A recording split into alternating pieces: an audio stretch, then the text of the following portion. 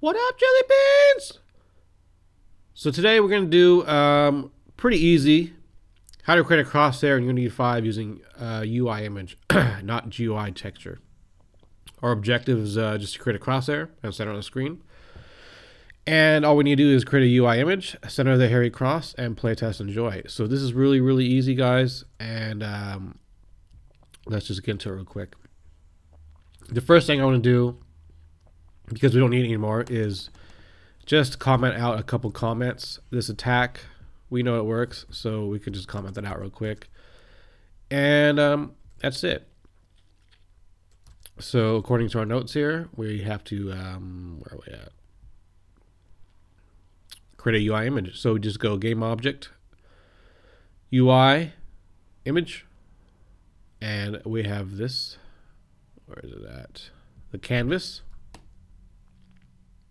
which is that big rectangle, and a spot for image. And I'm not going to make one in Photoshop right now. I'm pretty sure you're going to do that. If not, there's a million tutorials out there that shows you how to do that.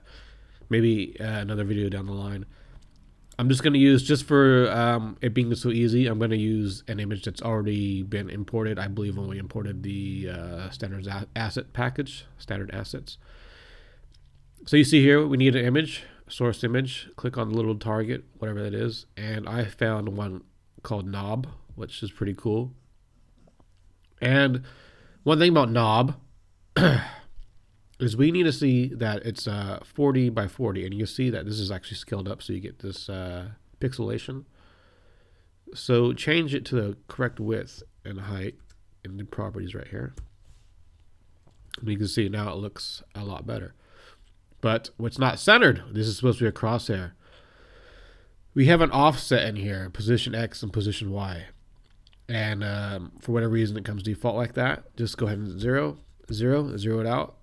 And that's it. It's centered. And now we just have to play test enjoy. Command P on the Mac. Plays it. And look at that. Look at that. So nasty. So it works. You can walk around. You got your crosshair. You can jump. See that. Whatever. So that's it. That's all you gotta do. So um, just go add your own custom uh, crosshair, whatever you like, and we'll go from there. Very easy, much better uh, GUI texture, guys. And um, that's it for now. So uh, we'll see you next video. Thanks for watching.